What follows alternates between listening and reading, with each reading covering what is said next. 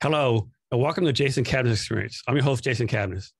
Our guest today is Branden Doyle of Violett. Branden, you ready to be great today? Yeah, let's do it. Branden is a co-founder and CEO of the air dis- disinfection technology company Violett.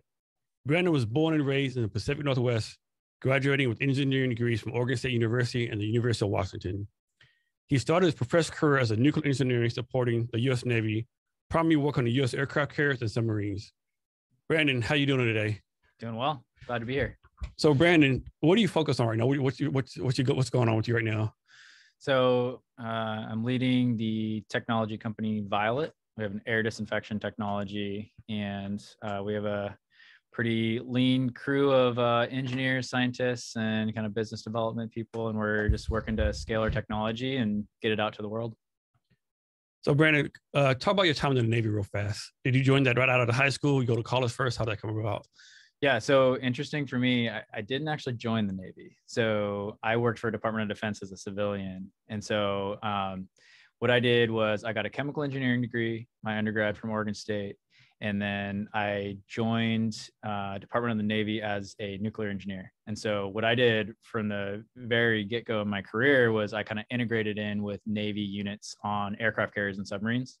And so my position was a uh, nuclear test engineer um, and so I would work with the, the naval nuclear officers, and we would together lead teams in the in maintenance environments on aircraft carriers and submarines. And so, like as the civilian, I was an expert of those nuclear systems while they were ripped apart. And so the the Navy officers and the Navy and the naval sailors, they were used to them when they were operating and all put together.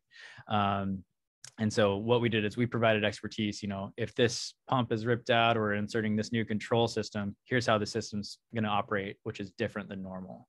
Um, so uh, yeah it was kind of kind of different than a lot of uh, a lot of people you talk to. Not actually in the military but i uh, you know i worked hand in hand with them for about 12 years. Yeah like i had no clue that it let i mean i guess i figured they let civilians on like on the ships but i had no clue. I would never thought a million years that let civilians on submarines. Yeah yeah, they do, and um, it's it's just like I said, it's mostly in shipyard environments. Um, so you're not actually out there in the ocean with them. Well, uh, so I hadn't been on a submarine, but I had colleagues that were on aircraft carriers. I, um, you know, I flew out onto an aircraft carrier in the Sea of Japan, or Japan Sea, Sea of Japan.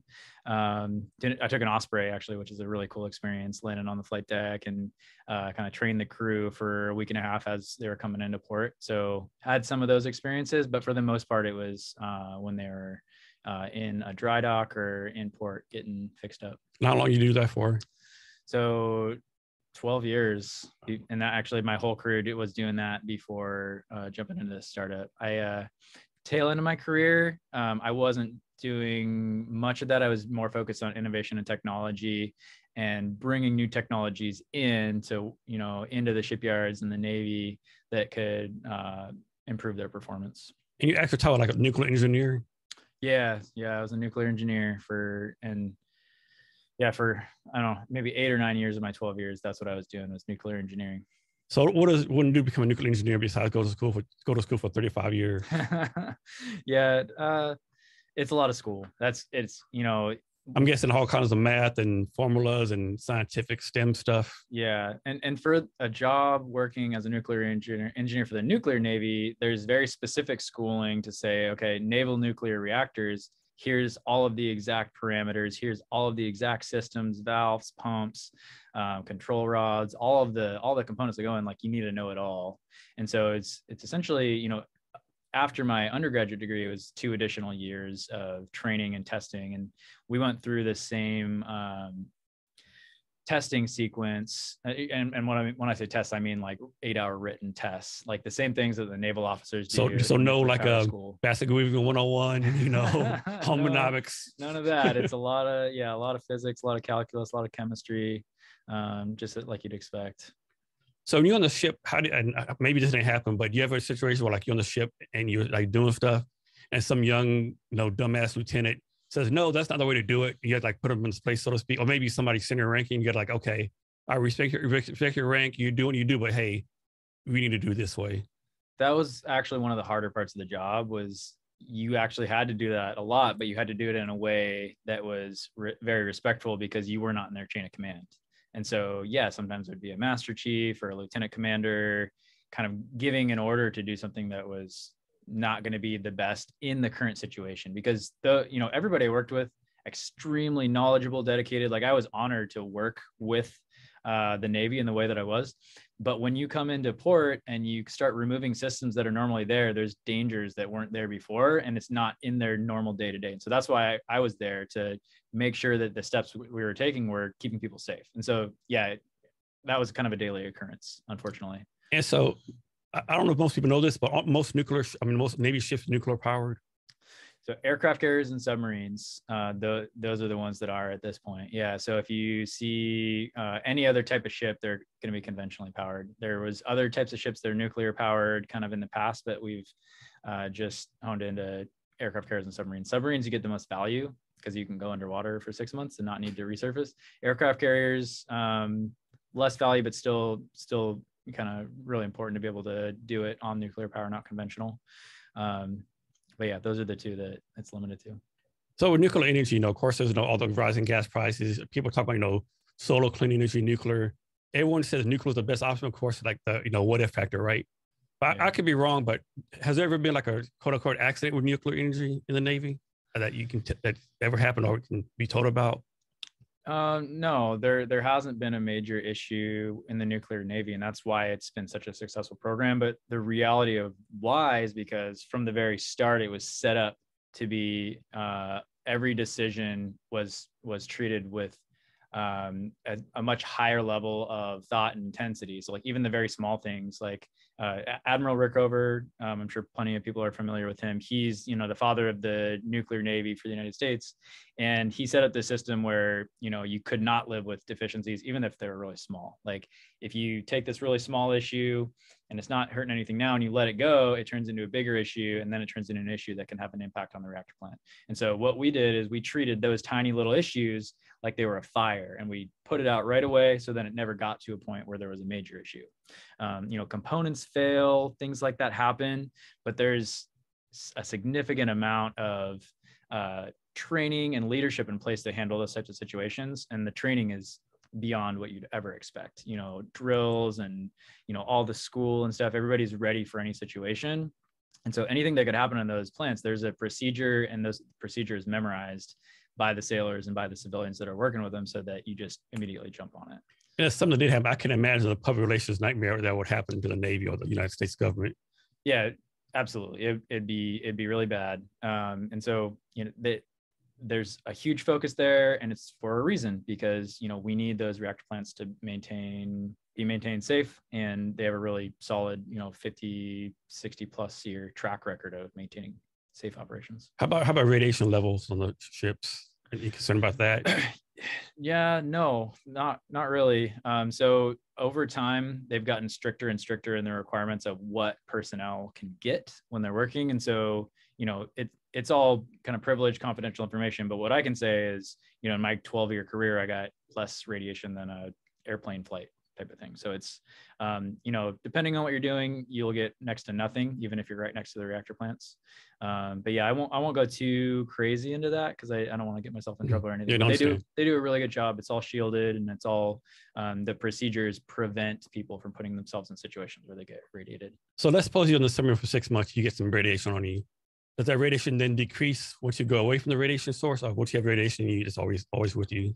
So there's a differentiation between contamination and radiation. So contamination would be something that's constantly putting out energy, which is, and the energy itself is the radiation. So um, if you're exposed to radiation in the reactor plant, it's going to have, you know, if it's a very small amount, it'll have minimal effect. If it was a large amount, you know, you see Chernobyl and those things, it has reaching impacts to your body because it's essentially you know gamma rays going in and kind of like rupturing cells in your body because it goes straight through everything. Um, but once you go away from the source of the radiation which is reactor plant or those materials you're not you're not being uh, impacted by it at all. If there was a contamination source that you like ingested or had on you and then you left that would continue to put out radiation over time. But that's something that's controlled extremely heavily. Any contamination sources are uh, they don't leave don't leave the ship. Do you have to know what percent of the world gets their energy from nuclear, or what percent of the United States gets their energy from nuclear? You know, I don't. I'm guessing. I guess it's, I guess it's pretty it's, low. It is pretty low, and it's you know it's it's an industry that uh, was very heavily impacted by a couple of you know Chernobyl, mm. Three Mile Island, some of those accidents in Fukushima recently, mm. right? So um, when when the stars align and a, a, bunch of these things happen in our own, when you don't have systems like the nuclear navy has, where you have this process that when when something like this happens, these are the actions you take. You know, it's it's one of those things where it turns into kind of a PR, a news type of thing. Whereas the reality of it is over the length of the technology, it's actually very safe compared to other energy sources. But when things go wrong, it's you know uh, um, you make a movie on it, yeah. right? It's, it's I mean, oil pipelines they leak all the time, right? Yep. You know, spills uh, all the time. There's BP, Exxon Valdez. I mean, just it seems like almost every year there's an oil incident. It somewhere. happens much more often, and the reality of like the deaths that come of it and those types of things. The second, third order effects. Yep, it's it's more with other energy sources, but it's not as newsworthy. So that's that's the effect, and that's one of the reasons why nuclear power is not as adopted is because you know Godzilla and movies that right that's what people think of. Um, it's not actually the case because technology is advanced and safety systems have advanced to a level where you can do it very safely with the Navy having so much success, how come like civilian agencies aren't copying like everything the Navy's doing? They try to. They they do. Like we uh, they talk to each other. Um, I would say one one of the things it's not extremely cost effective to be as safe as the Navy is. There's a lot of extra levels. Yeah, because the Navy doesn't um, have to worry about profit, revenue generation. They're just like mission readiness. Exactly. So it costs a little more, um, but you know in the long term the the energy lasts a very long time so you're not paying that recurring costs for fuel things like that. But um, yeah it's the way the navy does it isn't cheap but it works well as from a safety perspective. That's why it's it can't be exactly replicated by private industry because they're always going to say like okay yeah it's great to second and third check everything but we can't afford to do that. So they don't. Yeah how about this? So so i grew up in a town called odessa texas in the west texas like basically desert. I remember there was like this thing they're going to bring that nuclear waste facility right there, and of course everyone was up in arms, not in a neighborhood, you in a clever thing, and people were like, well, there's nothing here anyway. What's the use, right? Yeah. But is there really a danger of having nuclear waste facilities like within your neighborhood? Because is it like locked in like vaults and concrete and all that kind of stuff? Yeah, I mean, the things you're saying is true. So when they when they have a waste facility, and I'm not an expert in that. I haven't worked in a waste facility, but um, you know, we would ship um, you know, anytime there was kind of nuclear waste, you know, there are facilities that it ships to. And you're right, in any community that has a potential, you know, they don't want it because because of the image, right? And but the reality of it is, yes, you know, it's going to be an extreme build out. You know, they're going to have massive containment, uh, containment meaning like you know really thick barriers around any of the materials so the radiation's not escaping um, and the materials are kind of sitting in this enclosed space um, but it's the image of it that nobody wants so isn't doesn't it last like 10,000 billion years or something too yeah so it decays slowly so that's why you kind of go let it sit over there and and sit for a while yeah so it's like the the level of radiation that's coming out over time is less and less and less but something's still coming out over time that's kind of the thing is it the for the when it goes to you know as close to zero as you can get, that does that takes a long time. What do you see as the future of nuclear energy in the United States? I think there's some promising startups in uh, the nuclear industry that are going to become more and more prominent, especially with you know as you know there's less uh, fuel reserves. And again I'm, I'm not an expert in the energy space either but i do think it'll be more embraced once it can be once one of these startup companies with kind of small modular reactors that's kind of this new phase you don't have this 20 billion dollar upfront cost for this. It's a lot less because they're small modular. You can put one or 20 depending on how much energy you need. Um, once we get some of those installed and proven i think it'll take off uh, I think it'll become more prevalent. It, it, takes a lot of years. That's kind of maybe decades away that it's taking off, but um, there's some really promising technology. So tell us from your point of view, one positive thing about nuclear energy and then one negative thing about, positive, about nuclear energy. So positive is that you have this really long lasting source of energy that is not having the same impact on the climate as a lot of the other sources of energy and it's not impacted by the sun being up or you know and if you're in the pacific northwest and it's cloudy you don't solar's not working none of those impacts so it's going to be a reliable constant source of energy that we can use that can keep the world going um, and then you know the the negative thing that we need to work through is uh, it has a, it has a, ma- a major stain on a PR stain, and it's not easily going to be accepted by the world. And so there's a lot of work to do to get people to the point where they're going to be willing to, uh, you know, easily adopt this technology. And so, you know, and, and there's there's still technical challenges. There's still they still need to do better about um, placement and and how they're implementing kind of the waste storage and things like that. Like we'll continue to improve that as a country, um, but in general, the adoption is going to just be continue to be really hard. So for your nuclear engineering degree, do you have like do classes once a year to keep update on all the nuclear tech stuff, or how does that work with you? So when I was when I was working as a nuclear engineer, it's a yeah continuous qualification. So essentially, you you're you know you're doing the job, um, but you you go back to school and you repeat some of the some of the tests and the material that you went through to make sure you're maintaining your level of knowledge um, and if you don't you actually can't do the job anymore. It's really really strict. It's actually very competitive to get into it too.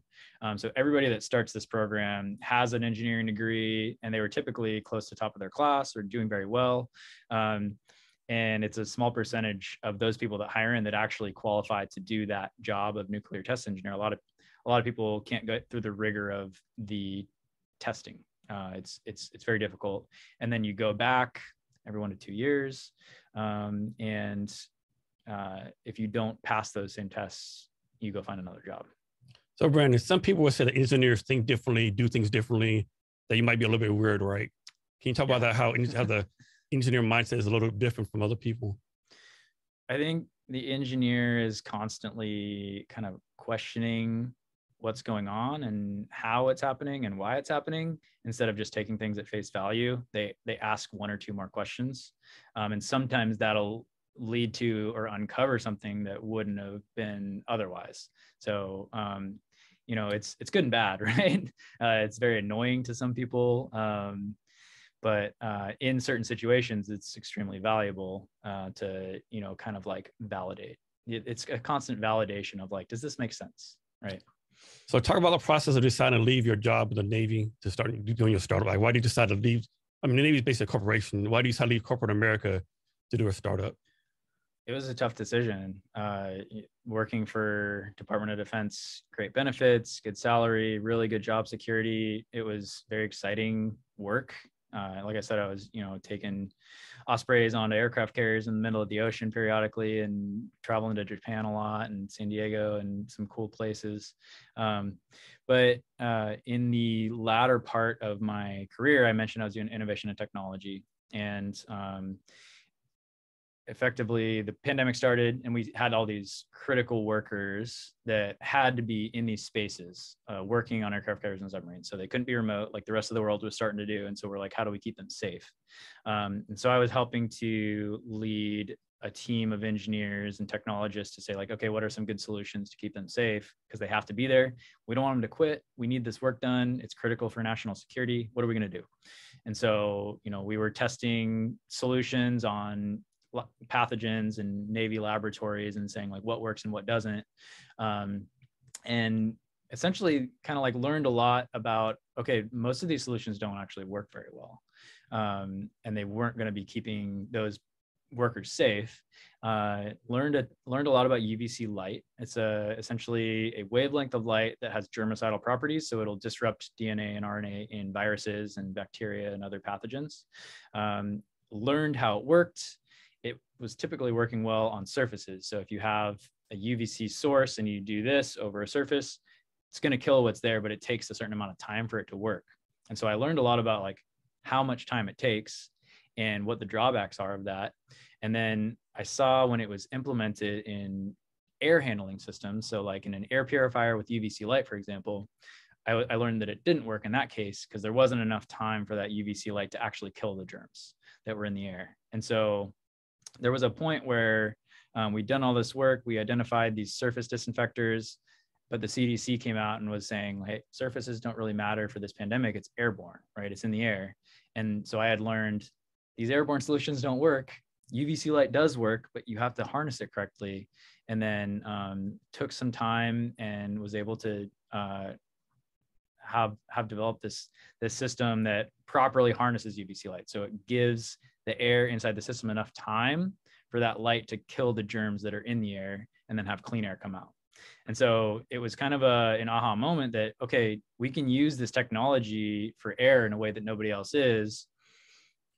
But, but how do we, how do we, how do I transition to that as a, as a full-time gig? Like that's the process. And so that was, uh, I don't know, 10 months of, you know, here's the idea, here's the technology, here's the prototype, here's the patent submitted, um, starting to build a team, starting to do some investment, still while doing double duty, you know, doing the startup and doing the full time job. Um, and then there comes a time where you realize you just can't do both if you're going to be successful. Like to take the leap in the startup, um, it needed to be a more than full time effort, and I, you just can't do it with a full time job. And so um, it was really when we started to get some customer traction and customer validation of the technology, and have revenue come in the door, and have interested and and investment in the door. That's when it was like, okay, this is a company, this is a business, and it's viable. So make the transition. It was a hard decision though. So, question for you: Since you started this for in the Navy, in the Navy said, "Hey, this is Navy technology, the Navy solution. You can't take it with you. It's a yeah, it's it's it's an interesting differentiation because we didn't invent any of this technology with the Navy. What we did was we studied UVC light, which is 80, 100 year old technology, um, and that's not really IP or patentable. But what I did outside of the Navy was I said, how does that germicidal light source get harnessed in a something that's moving air through a system? And so outside of the Navy, that's that's what I developed, and that's that's what Violett owns for IP is is just an air handling system. That's what the patent is. It's not UVC light per, per se. So for those that don't know, what's a pathogen?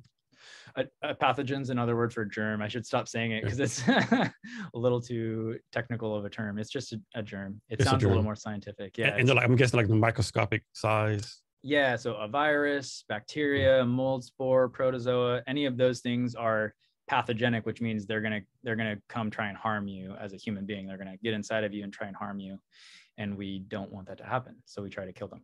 And so the UV light gets just just destroys it, or does it destroy it, or does it make it into another component? So it prevents it from reproducing. So it dies. So it disrupts the DNA and RNA. So it can't go serve its purpose. Every virus goes out and just tries to reproduce in human cells. And UVC light prevents it from reproducing. And when it does that, it effectively gives it a death sentence. Um, and it's actually been proven, UVC light's been proven to kill every pathogen or germ that it's ever experienced. So there's no, there's no UVC light resistant germ on earth that we've tested so far. You know, maybe in the future, but all indications point that like you give this light enough time because it it can it can make it through any kind of outer barrier. Um, it'll it'll go kill the germs.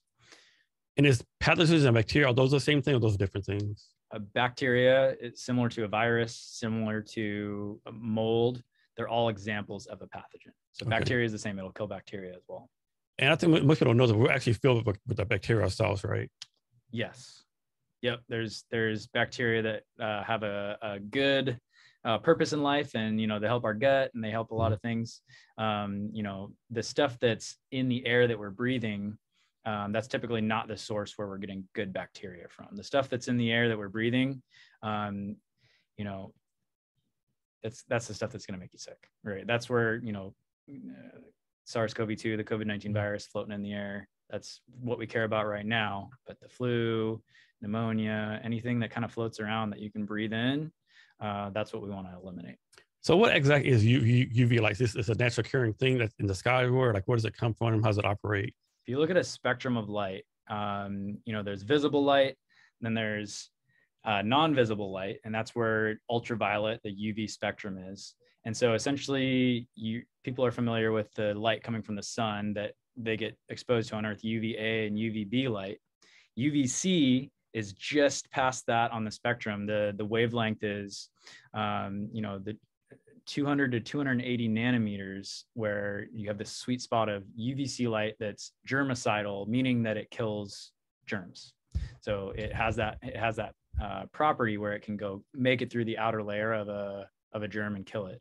And so there's a very specific wavelength of light that does this very effectively. And um, there are naturally occurring sources of UV light. So like, um, you know, if you take mercury and you do some things with it, it'll put out light at 254 nanometers. And so that's in the UV spectrum. And that's the most typical application of this is mercury bulbs that put out 254 nanometer light. Um, in the last five years, there's been advancements in LED technologies where you can really fine tune the wavelength of light being put out so to where right now you can have LEDs that'll put out this really tight spectrum of the most germicidal light. Um, and so it's it's starting to take off because uh, it's it's easier to harness now than it ever has been before. So even though it was around for 80 years and like proven to kill things, there hasn't really been a very effective way to utilize it until fairly recently. So Branden, what, what is a black light at on the spectrum? uh, so that's going to be uh, that's oh, let me let me think. That's that's a I think that's like four to eight hundred nanometers. I don't quote me on that. It's not in the germicidal aspect there, so it's not. Uh, so don't use black light to try to kill germs. Right? No, no, and there, there's products that do that. If you if so, uh, ultraviolet uh, UVC light is non-visible. So if you're using a light source and you're shining around and it looks purple, that's not UVC light. And maybe there's a little bit of UVC light in there, but anything you see, any purple you see, that's in the visible spectrum and that's not killing germs. So Branden, talk about your like your aha moment where you said, okay, I might have something now. Let me talk to the family about, you know, getting quote unquote quitting my my paying job and like going on and like what what happened? Like you to number of customers, revenue, or just like people telling you, hey, you got something, you need to go all in. What what did it for you? You know, I think it was the combination of having a product that was physically produced and working as expected combined with talking to so so we decided to go after the most you know and try to help the most vulnerable populations first. So we looked out and said okay elder care and healthcare have a higher burden than the rest of the world does right now as far as needing to keep them safe. Um, you know maybe you know education might be in there as well with kids that aren't able to get vaccinated, things like that. But uh, we started B2B going to those vulnerable populations. And when I started to talk to nursing homes, assisted living homes, skilled nursing facilities, healthcare facilities, and I was hearing about their problems and hearing about the solutions they were going after. Um, and and also hearing that they knew that the the really good solutions didn't they weren't available to them um, and also seeing the very quick uh, interest that they showed in our technology because it, we were kind of providing something that they'd been looking for and they, they quickly realized that. And so you know that combined with the product combined with interest from investors combined with um, really like this passionate team that was starting to form like these people that um, I was talking with and starting to work with that were just, you know, extremely passionate to make this a thing. Like all of those things came together to the point where it's like, okay, um, if if this isn't a full time thing, it's going to go too slow, and we can do this fast. We can do this right if we give it a go. Um, yeah, and the family part, that's that's definitely um, not, nothing to gloss over. So I have a I have a wife and I have two young kids, and so um, you know, luckily my wife has a good job. And so it wasn't kind of like, we'll be out on the streets if this doesn't work, but still uh, a very large thing. And um, talk, talk about your sales process. Cause I, I have to imagine like you went to like a nursing home, elder care place and you try to sell your products. I just imagine saying like, what is this? You know, like this, this doesn't work. You're like, you're a brand new person. You have no proof of concept. Like, how do you do the sales process for your first few customers? Yeah, we were very upfront with it. Um, we have a new advanced technology. Here's what it is. Here's how it works. And so what we made sure we did was we had the right people in the room there. Uh, so, okay, sorry. First thing we did, find warm intros. Don't go beat down somebody's door that has no idea what they're talking about. So we went through and we found some connections that that gave us warm intros to these organizations that had a need in elder care. You know, they uh, had people getting sick, they had people dying, they had their staff quitting, they had all this stuff going on. And we had a solution that could help. And so somebody said, Hey, here's this, you know, here's this technology that we've taken a look at and it looks interesting. You guys should take a look. And so that, so we already had that warm intro, which is critical as an early startup to not say, Hey, I promise you it works. Like having somebody else vet you first, to the customer. That's hugely important. And then once we were in the door, what we did was we we found who would be essentially considered like an infectious disease control specialist. It might be a nurse, it might be the facilities person, but whoever is thinking about that, they need to be in the room. At least for us, they did, um, with say the executive director, the final decision maker. And then combined together, you know, we're talking about the technology and how it works. The inf- the infectious disease person's like, this sounds great. Like I've this is what I've been looking for. And then the executive director is kind of like looking at them like, are you sure? You think this will work? Um, and so, but on our side, we're, we were up front. We're like, you're going to be, you're going to be some of our first customers. Um, so this is essentially, you know, you're getting it on the bottom floor. You're able to try this new advanced technology, um, and you'll be a part of shaping it. So we, that was also a piece of it. Is you know, the feedback you give will shape this product that we believe is going to transform air disinfection.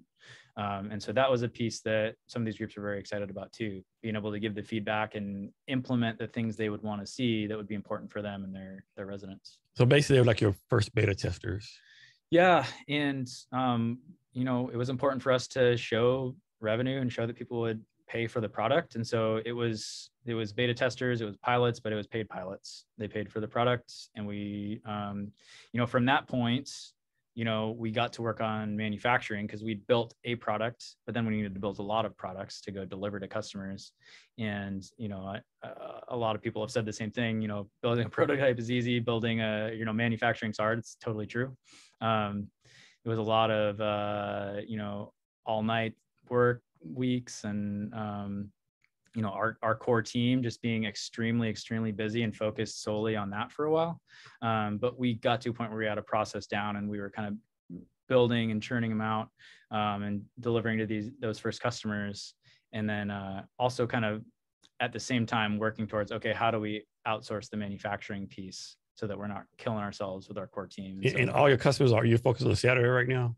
Yeah we've been focused on washington Washington State. Yeah, all our customers are in Washington State. We have uh, we have a uh, customer in Yakima. We have a customer in Lacey. Customer in Seattle. Uh, a few in Seattle. So it, it's uh, all in Washington State though. Can you talk about the engineering aspect of, of the product? Like, is it is this like new technology? Is this is it rocket scientists or just like you're just reusing old technology in a better way? So the air handling system, so the way that we move air through our system, that's the new part. So what we do is we bring air in and we maximize the amount of time that that air is in that chamber with UVC light. And so we pull air in and we force this vortex flow that is designed to keep the air there for as long as possible. And then, you know, we also optimized the reflectivity in that chamber. So like the UVC light's not getting soaked up in materials, it's bouncing around until it hits a virus. And then maximizing the intensity of UVC light as well. Those are all dials you can turn to increase your effectiveness. And so what we did is we optimized all of those to create this system that does the best that it can do. And so our IP specifically, how it's different than everybody else is uh, nobody else can create the residence time that we can. So anybody else can maximize intensity and reflectivity, but if you just shoot air through it really quickly, neither of those matter because you need the amount of time for the UVC light to interact with the pathogens and kind of break through that outer shell. You can think of it that way. Um, and so that's that's our special sauce. So we hold the air inside of there for long enough before it goes through and back out into the space clean.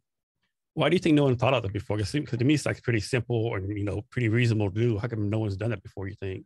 Well i think it was a few things. Like one um, the availability of high intensity densely packed emitters that's new. So there was a finite period of time of when that technology was becoming available and people were really trying to do this um, you know it was a short window and we started right right away. Like those we were kind of like some of the first uh, people using some of the more advanced emitters for uvc light. Um, and then uh, you know I, I i guess i can't really say why nobody thought of it before. It's uh, it's a combination of the engineering backgrounds that we had with the people that were working on this that were able to kind of hack together a design that completely optimizes it. So every everybody else, um, I, I, think maybe a part of it too was the in-depth studying of UVC light too. So um, understanding that if you don't have the residence time that the UVC light doesn't actually work.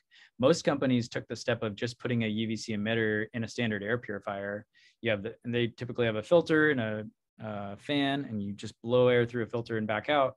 And they just took the easy route and inserted the UVC bulb inside of that device and then put the product out. I think it was kind of like most groups uh, wanted to get something out as fast as possible which has its value, right? And they a lot of them got initial sales, but it's not uh, it's not a way to create a technology that's going to stick because it's not actually performing the effectiveness. It's not going to be able to go get third party independent testing and say this is better than anything else because it's not.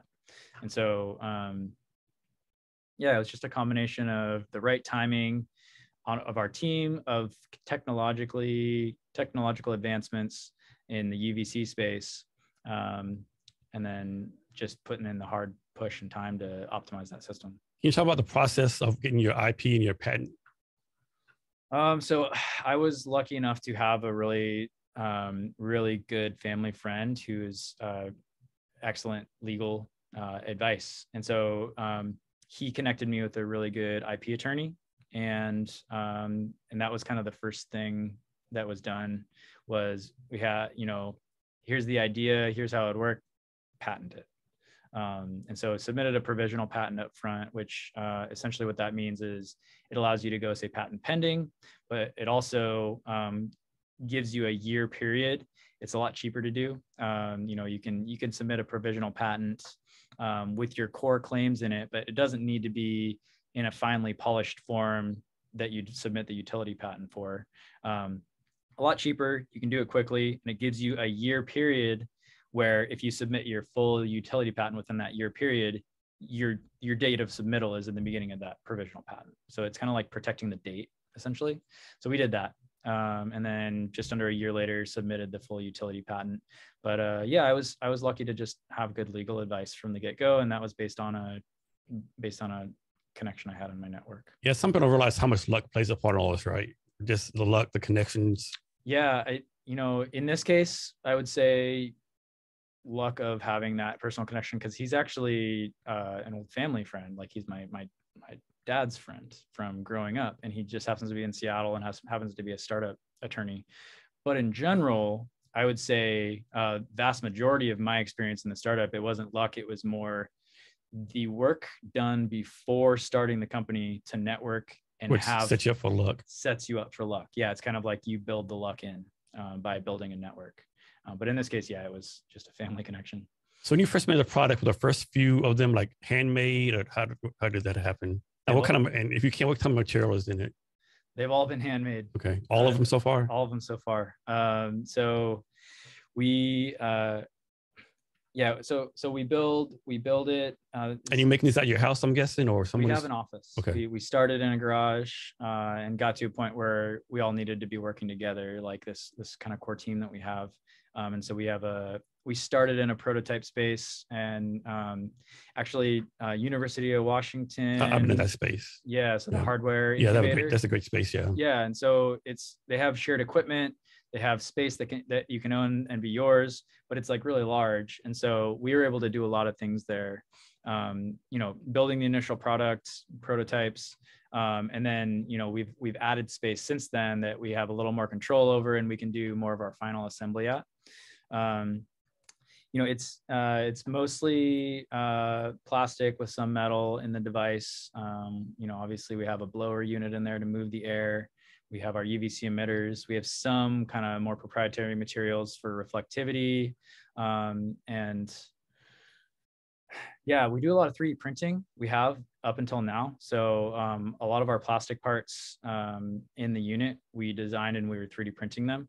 And then since then we've had we've optimized those for injection molding, and we're just about ready to begin injection molding our product. Which uh, for anybody that's 3D printed, great for iterating designs and quick changes. Just takes a really, long time. Uh, we had some parts that were, you know, 20 hour prints um, you know and so you 20 hours and so to scale that you just need a bunch of printers and we have a lot of printers now but um, there's a there's a ceiling on what you can do with that and so you know we intentionally sold um, you know less than what people wanted up front. We didn't, you know, if somebody wanted uh, 50, we sold them 30, you know, and just kind of like level setting, like we don't want, we don't want to take forever to deliver this. Uh, you know, it still takes a while. Like, you know, it still took a while um, to get all, all of this uh, built and um, shipped out.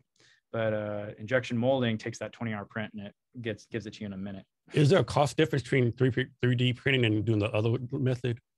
Yeah. So it's it's a different way of looking at it. So a 3D printer, you can the for the products that we're doing, we don't need super expensive 3D printers. So we can get a thousand dollar 3D printer and it'll make good parts for us. Um, but it takes, you know, 5, 10, 20 hours per part.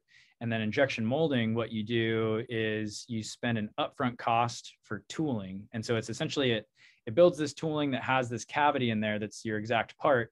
And then it just injects plastic into there and forms it and then it opens up and the part falls out and it does it again over and over. It's an automated process with a big machine. Um, so there's an upfront cost to build that tool though to make it work. And that tool has a lifetime but if you do it right the lifetime's like 300000 plus parts. So it'll last for a very long time but it's expensive. So 3d printer thousand bucks up front long time to make each part.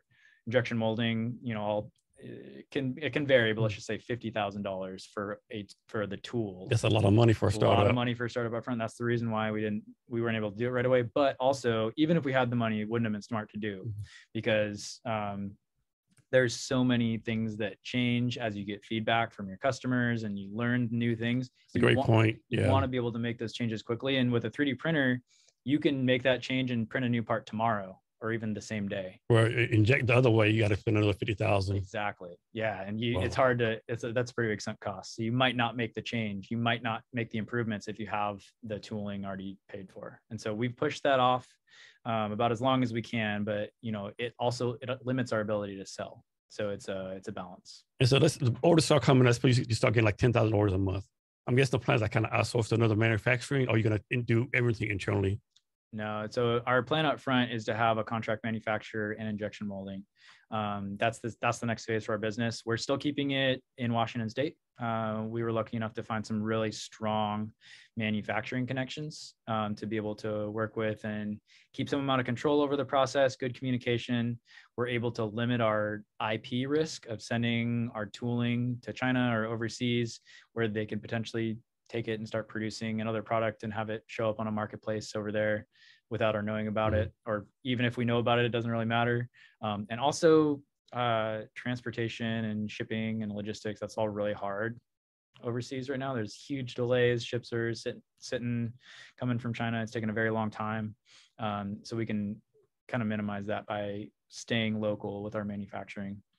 So, so the product now the materials you make with it now is a plan to keep making those same materials or once you start getting a better and better products in to maybe upgrade the material?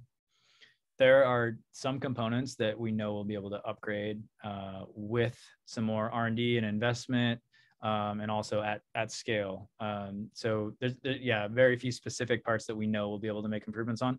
Um, some of them uh, we we feel like we've sourced the best material that's going to be available for us.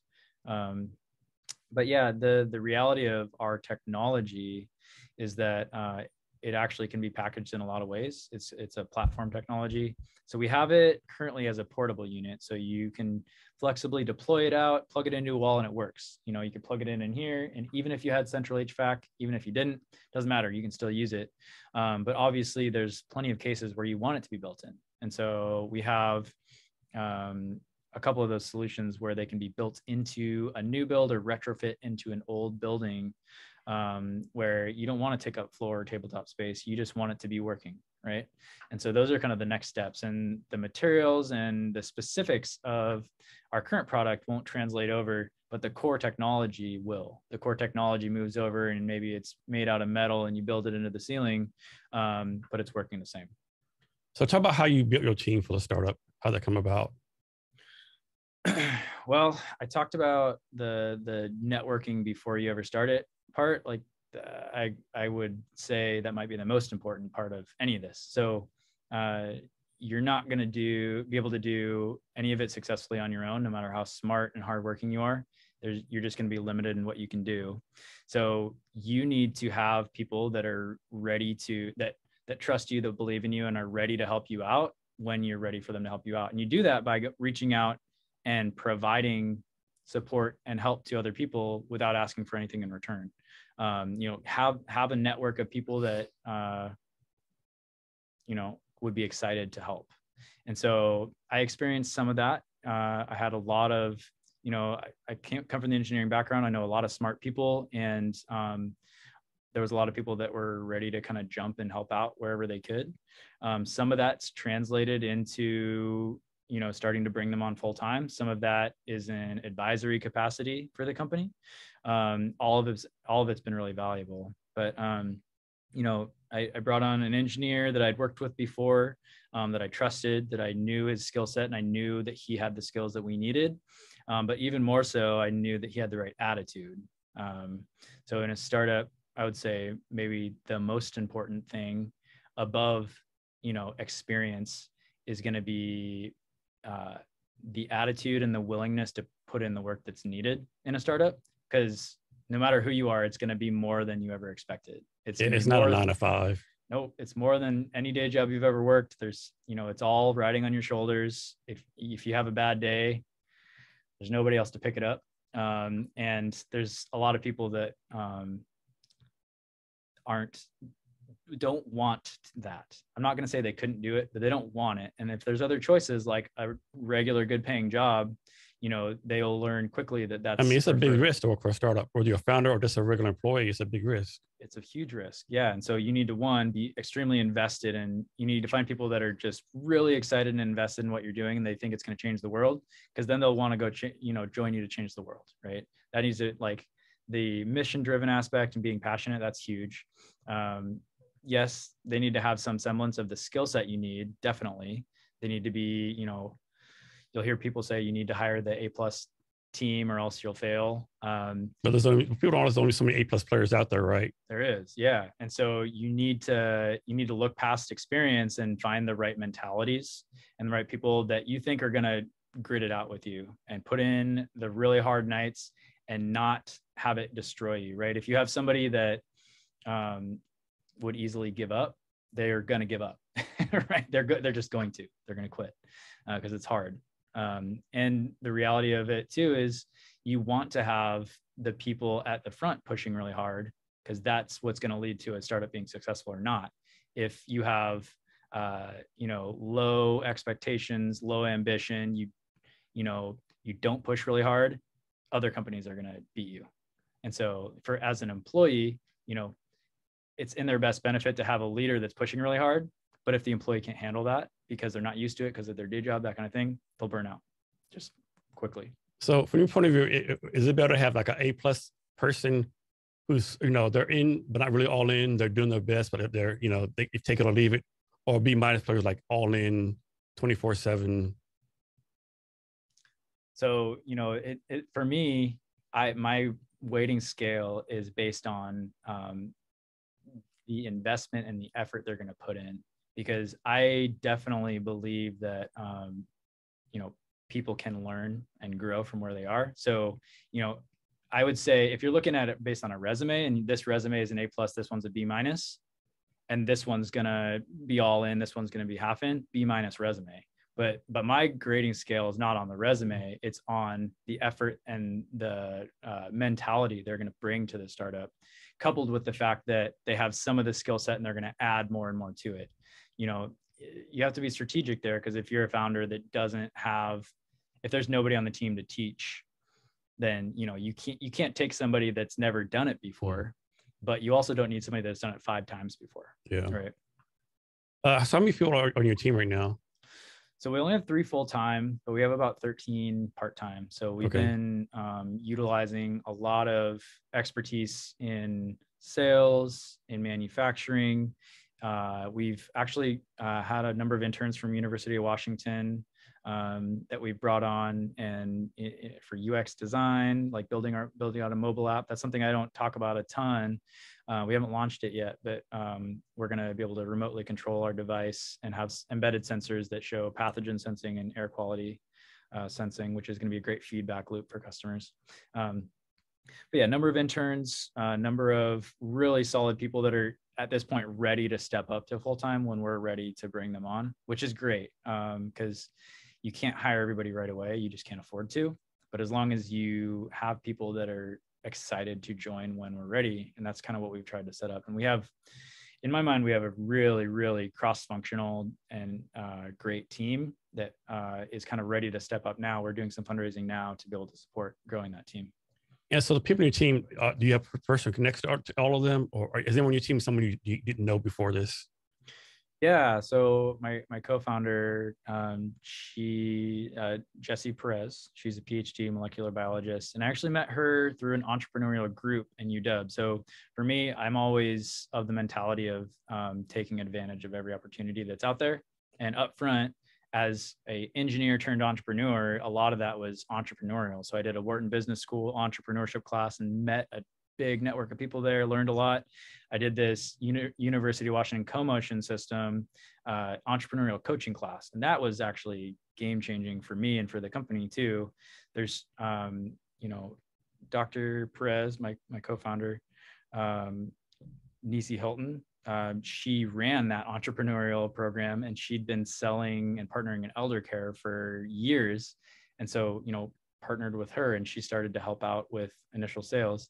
And then I got an advisory board member out of that too, a two-time CEO um, in health tech companies, um, Carla Corcoran. And, and each one of them, they're like rock stars. And it, it was all based on just my, uh, my decision to go do this entrepreneurial kind of like networking coaching program where it was like you know eight weeks of meet every week talk um, it was pretty early on but like you know we hit it off and uh, they really liked what we were doing and wanted to be a part of it.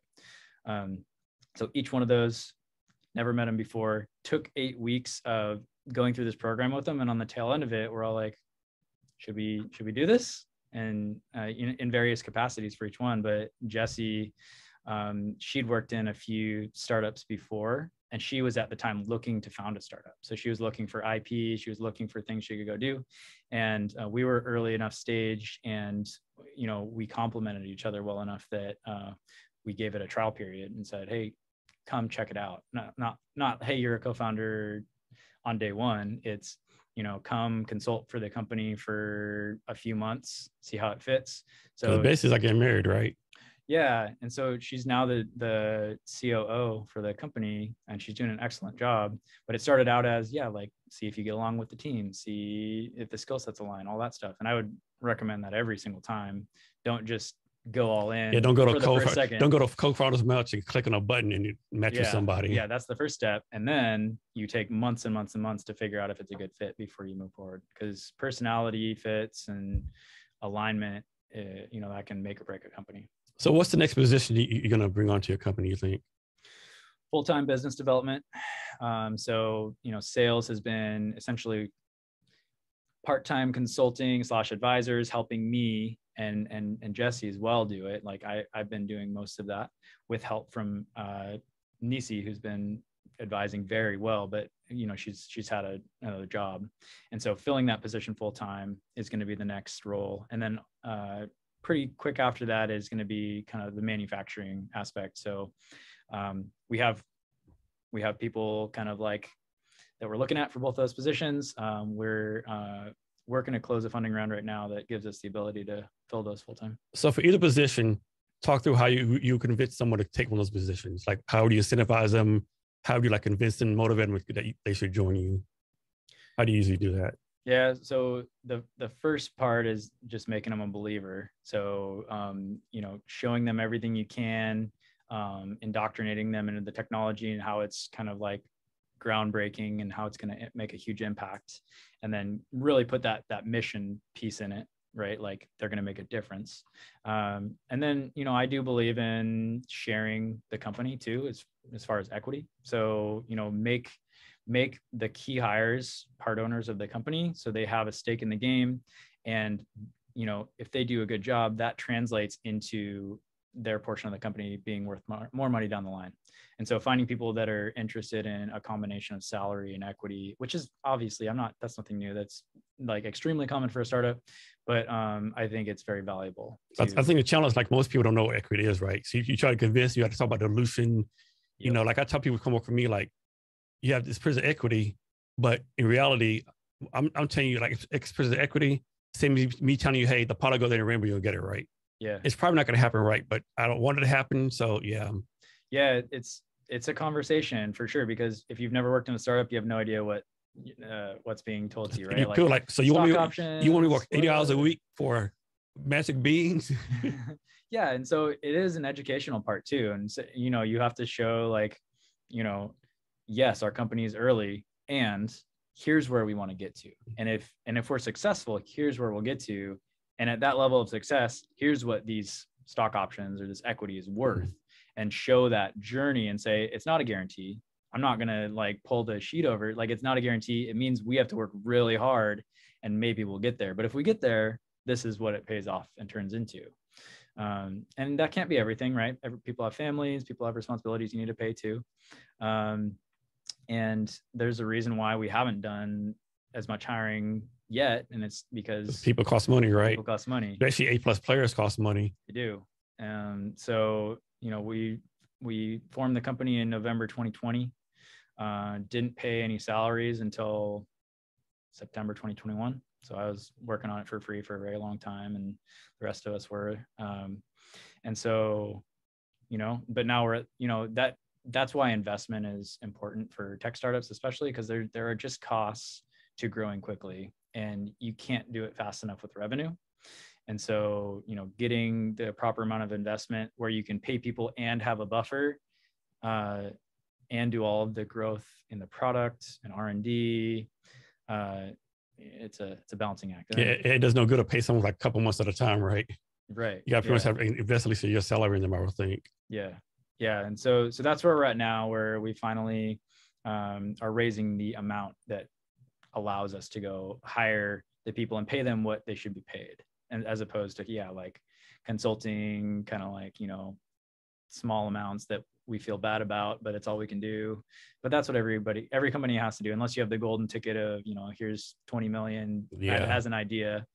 Some people get that. I didn't. Most people don't. No, most people don't. Yeah, especially as a hardware company. That's yeah. In Seattle, that's a good point. Talk about being a hardware company in like a software place like Seattle. The challenge with that. And are you raising all your money in Seattle? you go in different places?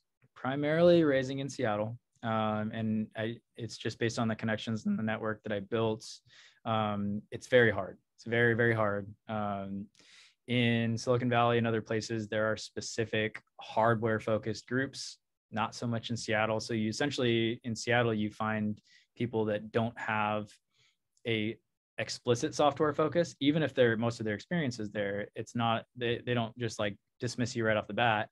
And then you convince them how groundbreaking the technology is going to be. Um, so it's it's been a hard road. It was, you know, as, as CEO of a company that's, you know, keep money in the account, hire good people. That's, you know, that's not it. But those are if you fail at either one of those, you'll fail as a company. And so it's been a it's been a year and a half grind for me. Um, but uh, we made the we made enough progress and showed enough value to where we're now finally able to convert people that earlier on were like, well, hardware is hard. Um, You're like, no shit, Sherlock. yeah, you know, it's. Like, tell me I, something I, I don't. Tell me something I don't know. But uh, but the fact that we worked through a lot of the manufacturing challenges already, we have paying customers, we have you know people that have shown strong interest. Um, we have this you know dedicated team that's really passionate. Um, you know, a lot of these boxes were beginning to be checked to where, uh, and then once you get the first bigger check in the door, it becomes easier so and and this my the you know the fundraising is not done for me but we've just made a good amount of progress since uh you know over the last month and a half i guess really so Branden tell me how you're going to guard against this i think a lot of startup founders they're grinding and they're raising money let's say they raise a million dollars either relax or they buy some bullshit or like they buy like thousand dollar office chairs or like go crazy right and yeah. then within two months the money's gone right yeah. how you going to guard yourself how do you how you going to remain frugal as you are now well don't go into it thinking you'll ever get any more money. That's a good point. Yeah. so, so if I get this money, you know, how do I move forward thinking maybe this is the last money? So you can only go so far on that because you the key in a startup is growing faster than other companies, right? So you do need to invest in growth. That doesn't mean you need to get the fancy office with ping pong tables and like there's a place for that, but uh, early stage, not yet. So like we we moved to we moved to Gig Harbor um, a little bit outside of Seattle, lower prices. Um, we could get more space and kind of like own what we were doing a little more, um, and we can build out our our footprint and do a lot more there for our money. Um, and you know, we're we're you know if if we're in the office at the same time, one of us is taking a meeting in a storage room. Like we're, we're making it work for now, and we know that it's not forever, but um, you can't take anything for granted. Um, and and I think the other part is you just need to have it all planned out. so you, you don't raise money and then decide what you're going to spend it on. Like there's very key things that you're going to spend it on, and you also need to keep this buffer in case and because uh, the next fundraising round will take longer than you expect, like just guaranteed. And so that's kind of the approach I'm taking is, yeah, we're going to raise another round, but I'm not going to, I'm not going to plan as if it happens right away. So be frugal, pay for what we need to pay for to grow, but don't pay for anything extra. So being a star founder, like the product's full-time job, tech's a full-time job, more everything's every little business thing is a full-time job. And on addition, then of course, fundraise like probably two jobs, right? How you prioritize your time, how you make sure you don't get crazy, don't get burnout, like how you work with all that. Well, you know, a lot does fall on your shoulders and it it will for a decent period of time. And so you're constantly thinking about it you're constantly running through different scenarios but you know going back to the team building and the people aspect that's how you do it. You find the right people and you um, properly delegate things. Uh, that's a hard thing because you know you have such strong ownership and it's been you for the longest time and i'm not going to say i'm the best at this but um, you know you can only go so far on your own. And so finding the people that you trust to delegate things to, and then uh, providing a system where they can own it, right? And they show ownership over it. They can take some amount of control over it. Uh, we're we're kind of like transitioning into that phase. Like I've had a ton of help. I've had a ton of help up till now, but we're now at the point where other people can truly own uh, some of these things that I've been owning for a long time. I can truly transition them over and trust that they're going to still make the progress needed and kind of like holding the expectations. So for your fundraising, what was your process? Do you like did you like Google hardware uh, VCs and cold email, warm introductions? Any advice? How have you have, have you done this so far? So I tried to minimize any amount of cold reach outs in any aspect of the business as possible. So fundraising, um, again, call it luck, call it network, whatever you want to call it.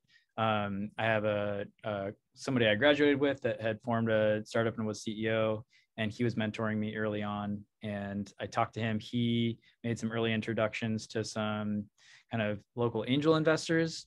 We were too early for them, uh, so I did reach out, but I and I met them and I told them what they were doing, what we were doing, and they gave some advice. And we're you're too early, and that's fine. But the seed was planted, and I've gone back to them since. And you know, just yesterday I pitched to one of the groups I was introduced to a year and a half ago from my friend. Um, but you know, I did a deep dive in entrepreneurship. I did this Wharton Business School thing. Um, learned a lot about the process, like what, how should this? And happen? there's a process, right? There and, is a process. And, and, and, no one tells you the process. You got to either have hard luck and learn the hard lessons, or you know, be fortunate to learn it. Yeah. Yep. You go out of your way. You know, I was listening to all sorts of podcasts, reading all sorts of books, doing the Wharton class, doing all this stuff. Um, but I learned that I had to do a friends and family rounds. So as most people do. So, and I, I wouldn't specifically call it a friends and family round. It's part like a part of a Branden Door round. well, it was, it was a professional network round. Like some friends were in there, no family, but mostly like, you know, expanded professional mm-hmm. network of high net worth individuals pitching people you know that it's hard to do that because you're talking to a lot of people for a lot of mostly smaller checks. Um, we were able to get some larger checks in that. And so we raised uh, close to $400000 in that way just in 100 conversations turns mm-hmm. into 40 people that are interested mm-hmm. turns into 20 people that invest or something like that. But uh, a lot of work to do that but that allowed us to get to a working product right? Not to hire a bunch of people not to do anything else just get to a working product do some testing on it. Um, and then the progress made in that time allowed us to start having conversations with angel syndicates and seed level VCs. And so um, during that, I don't, we'll call it a year where I had raised the pre-seed round of about 400k, um, made the progress. You know, I was having discussions with the people that I envisioned would invest in us later when we were ready. So like one of the investors we're bringing on now, I started talking to them know, seven months ago. Yeah, it's And- not- it's and- not- And, and I was yeah. pitch, uh, pitching, pitching with the intention that I knew they weren't going to invest now, Yeah. but pitching to get them on board with our company and to watch us. Right. And they, and you know, six, seven months Yeah, later, so you, so you like sending updates to these people. it, uh, yeah, yeah. Sometimes sending email updates, sometimes just getting on calls periodically and saying, "Here's where we're at."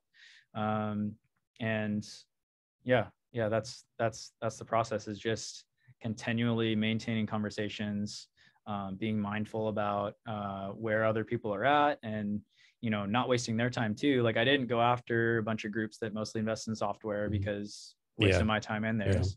Found the people, you know, there's a big list, right? You can go through this list of who are all the people that invest in startups. And there- And people don't realize there's so many VC, so many angel investors out there. there's a lot. And you have to go across the names off that list that you know aren't it's a waste of time. And so I I went and I went through and said, no, no, no, no, no, no, no. I don't want to waste your time. And I had a shorter list of maybes. Mhm. Right. And so I started talking to them. And I didn't start just talking to them. I said, how can I find a way to talk to them? Mhm. who do I know that knows somebody that knows them? And so did that process and um, over, it didn't work. Nothing happened right away. Um, but over six, seven, eight months, it finally started to turn into uh, investment. And then another thing I did uh, was I put myself out there in investment competitions that Mhm. were more public. And so that is harder. It's a lot more work. Um, a lot of time investment, typically for a lot less money that Oh, yeah. than you'd get from like a couple of conversations with a VC. But it also gives a lot of information to you about your messaging, um, some weak spots for your company. Mm-hmm. They can just tell you, right? Like, hey, this is why we don't like you. Mhm. Here it is, point blank. And it's like, okay, You got some tough skin. yeah. Uh, so uh, we did it three times. The first time we didn't make it very far, and they're like, "You need customers and revenue." We're like, "Okay." and then the second time we had customers and revenue. We had some a lot of traction. We made it to the finals. It was Seattle Angel Conference uh, in the uh, 20, uh, the SAC 20 cohort. Made the finals in that. Didn't win. We were, I, I think we were pretty close. Didn't win. Um, and then got a, a bit burnt out because it was a ton of work. But then I uh, put myself through it again. I did Apis Health Angels in our first cohort ever going through that, and that was more focused on healthcare based uh, products and companies. And so I made the finals in that one as well. And then through that process, when you get in the finals of these competitions, you go into due diligence for about a month, and there's a team of investors, and they're typically newer investors. I, that's the goal of those competitions is to train investors really. Um, and then you just get a ton of feedback. I'll put in a ton of work. You get a due diligence report, and it spells out exactly what you're, where you're great, and where there's still more questions. And so each of those learnings we took back and we said, okay, re-rack. Sometimes it's messaging, sometimes it's the product, sometimes it's an aspect of the company. Um, make an improvement, go try it again. And then after going through Apis Health Angels, um, we made enough progress and had enough visibility that we were able to finally start getting some traction in fundraising. For Seattle Conference and Apex Health Angels, is the the pitch award money about the same? Yeah, the it's the goal is for them to be around a two hundred thousand dollar investment if you win. Here's my question for you, right? Like Seattle Angel Conference, I'm a big fan of John Sechrest. Yeah. I like what he does, but Yeah. man, you, you do a lot of work, right? A lot of work. work. And like is like two hundred thousand dollars, that's a lot of money, but is all that work work really worth it? You know, we know you're probably not gonna win. If you're looking at time invested versus money you get, it's not worth it. Yeah. If you look at time invested, feedback you get, Mhm. you know, improvements you make, network you build Mhm. versus the money, then I think it is worth it. worth it. For us specifically, we met enough people, we learned enough, we improved enough that, and we didn't even win. We didn't even get the two hundred thousand. I know, a lot of people like what's it called? They like invest off offhand or something like that. yeah so it i i would do it again uh, even though even though that parts of it i was so burnt out in the process that i it's crazy to think that i would say that but uh, i would do it again uh, and i think it was valuable and i would recommend other startup founders do it especially if you're kind of like just before taking off if you're getting a ton of traction with uh, vcs and other investors you probably don't need it but if you're just before that stage i think it might it can put you over the top Is Apex Health Angels part of Seattle Angel Conference? Or something different. It's APIS, Okay. Apis Health Angels. Apis. Elizabeth Cross Nickel, um, she uh, and John Sechrest. So so it's essentially a spin-off of Seattle Angel Conference, and it's because there's not enough focus on healthcare companies, and they're so different. Mm-hmm. They're very different from like software companies um, and traditional tech startups. That it requires a different set of uh, knowledge and skills for the investors that are looking into the companies. Right? They need to know they need to know different questions to ask. And so they said it's different enough that we'll have its own competition. And Seattle Angel Conference is more focused on Seattle-based companies. Mm-hmm. Health Angels was, you know, not Seattle focused. It was it was national. Um, I don't think there was companies from other countries. I can't remember, but um, yeah, there was com- there was companies from all over the country for sure. Even in the finals, it was we might have been the only Seattle-based company in the finals. Uh, maybe two of us. And what you're doing is considered health tech, right? Yeah, yeah. We're we're kind of an in between. Um, you know, in that competition, we were competing with drug development, with like medical devices that you implant with like a heart and preventing heart attacks, and and that's not us, but um, we are providing a healthcare service. We're providing clean air quality in a room that improves a healthy environment and prevents people from spreading, uh, you know, disease between each other. So it's it's on the border it's like on the border of kind of like hardware technology healthcare technology and then in the in a future state we're going to have uh, software based technology in this where there's a, a lot of data that is going to be generated around clean air environments that companies can use to make better decisions and even kind of attract staff or customers to their facility because they keep it clean and safe for people um, that's not the focus for our company yet, but it will be a big part of our company moving forward. So it's like a little bit of a lot of things. Are you able to say to, to a potential customer, use a product, we're gonna we'll decrease something by this amount, increase something by this amount? So so we've done third party independent testing that's shown uh, how how much of an aerosolized virus we kill in what period of time. And what we've shown with that is that we can do it faster than competitors and we can do it a lot cheaper. So we can kind of like disrupt existing products that are out there. Um, we're doing some additional testing with some universities that is that's going to be showing essentially prevention of transmission. So I'm sick, you're not. Air is processed through a device. You and you wouldn't get sick. So that testing is not completed yet. So we can't like put that on our website. Um, but we have that's in progress right now. Um, but re- what, what we have right now is, you know, we can kill, you know, COVID 19 surrogate virus very, very quickly. Um, and, you know, keep the levels in a room low enough that, uh, you know, could help prevent people getting sick. So let's say someone's using your product, and I'll obviously make this up, but it decreases the patching by 80%, right? And then they take the, the product out. How many days does it take to, to get the patching back to the previous level without your product in there? So the reason why it's valuable with using UVC light and have it continuously working is because at any given time, if somebody comes in here with COVID and sneezes, it's just a spike, right? It's mm-hmm. back. But if it's in the room and continually processing the air, you quickly keep that at a, at a normalized level such that that spike that would be there if it if, if the unit wasn't in here, it's it's a very small blip. And so you never cross the threshold of like uh, a level where you or I would get sick. And so that's the goal is pr- minimize the the spikes in the concentration of virus in the air. Is a product is like electric electrical one, battery run? How does it actually run? It's a plug into the wall. Okay. Yeah. So it's we don't have a battery on it, so it's uh just uh yeah, plug in powered. So totally random question, and you might may or may not may not know. The air in the airplanes are they clean, dirty, or should we worry about that air in there? They say they circulated from the outside, but you know.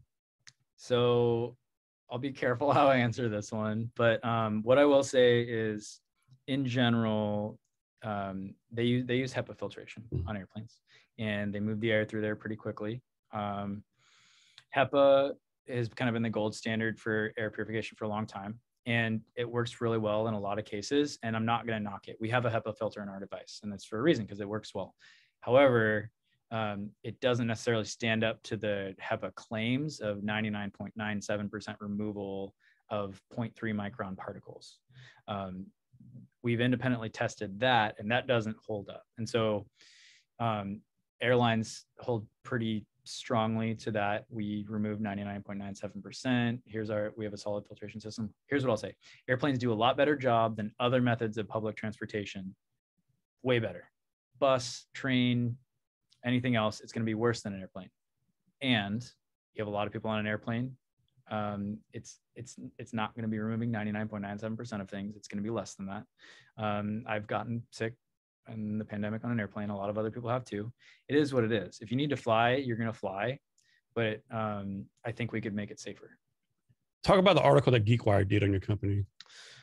GeekWire did an article essentially highlighting um, in a similar way to this conversation, just how we formed, um, what we've been doing, the progress we've made, the team we've built, um, and it was kind of just an indoctrination to who is Violett and what's uh, and and me as a founder and what uh, what we've been doing. It was really cool. They're a great team at GeekWire, and um, yeah, it was uh, it's a startup spotlight. That's what it was. So they just started that series again, where they're taking early stage mm-hmm. startups and giving some visibility to it. So it was really cool. We uh, we met a lot of people through that actually um, even some investors. Oh, good. I was about to ask that. What, what, kind of benefit do you get out of that article? Like, did it pay off for you? It did. Yeah, we had a lot of people reach out through our website. Um, we had a spike in people reaching out on our website based on that article from Seattle, Silicon Valley, even. Um, it, it was obvious that they have good readership, so it was cool. So so far, what's your take on the Seattle tech startup scene? What's your like opinion of that? What's your view on that? I think there's a really solid established group of people here. I think the investment in early stage startups, it's still a growing market and they're improving there. I think um, there's there's less opportunities than in some, some other areas for early stage investment, but um, you know I think there's definitely enough that you can find you can find it if you work hard enough. Um, and for a hardware company, it's really just extending the, the lifetime of those conversations a lot longer than it would be if you were a software SaaS company or something like that. Yeah, I think it's definitely a challenge raising Seattle, right? Because I heard a lot of people joke was like, in Seattle, they expect you to have like an A round company for a seed round investment, right? Yeah, I've heard that before. Yeah, um, and for early stage, you're typically looking at uh, s- smaller investment checks, so you're getting checks from more people. And then you have to do more work for the smaller checks. You have to do more work for the small checks. Typically, the early rounds are more angel investment in mm-hmm. Seattle, whereas in Silicon Valley, there's plenty of seed level VC groups people that can write write majority of the check or a bigger check and and then yeah it just takes a lot less time.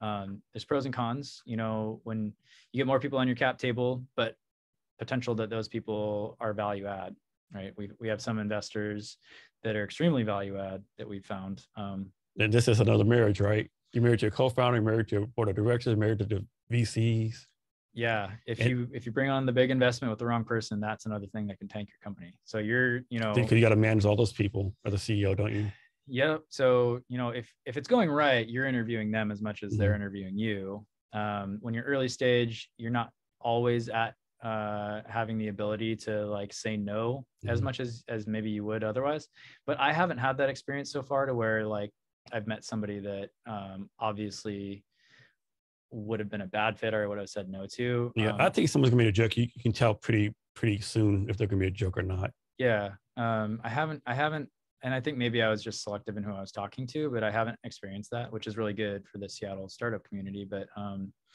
yeah, you know, we we've gotten some really good value add investors. Um, you know, specifically with some manufacturing expertise and facilities that we're going to be able to utilize, which is going to be great. So we're going to be able to do our manufacturing less expensive and more local than maybe we would have been able to do otherwise based on a relationship from an investor. So, so talk about the pros and cons of being an entrepreneur so far.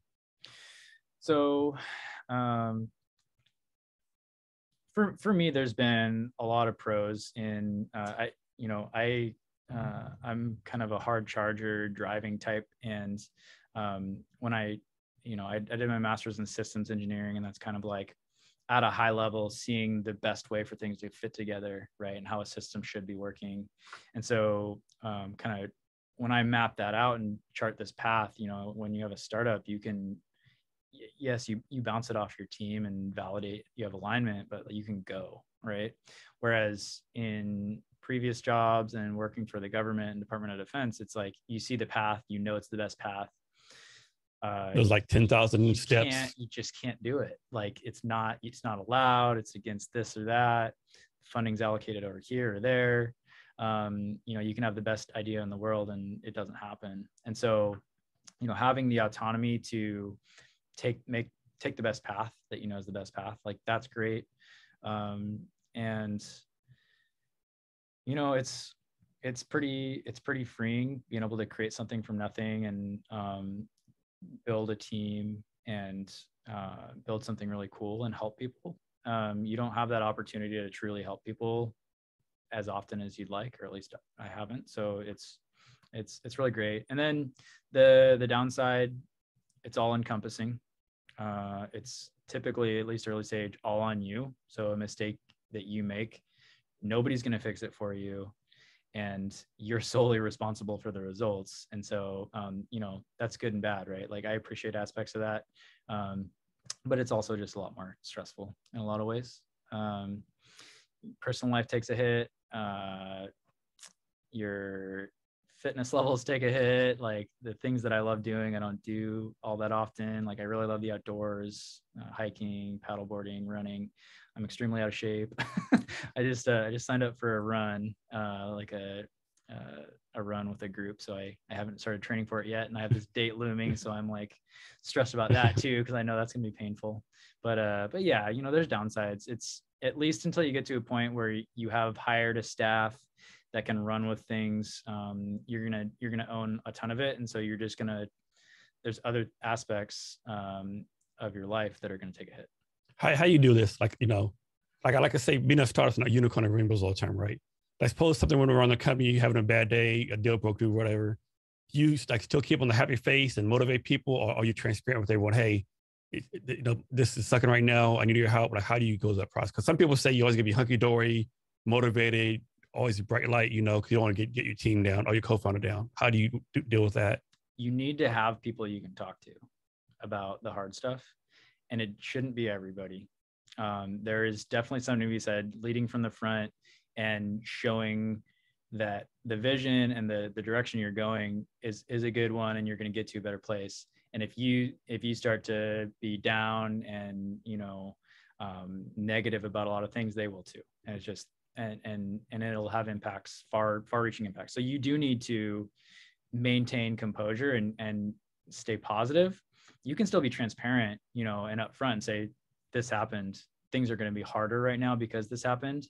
But you also need to say here's what we're going to do moving forward. You can't you can't go to the team without the path and this this happened we're screwed.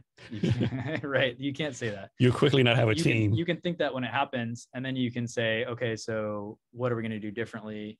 And then go to your team and say all right reality check some bad thing happened. We need to work harder as a team for a period of time to make it better.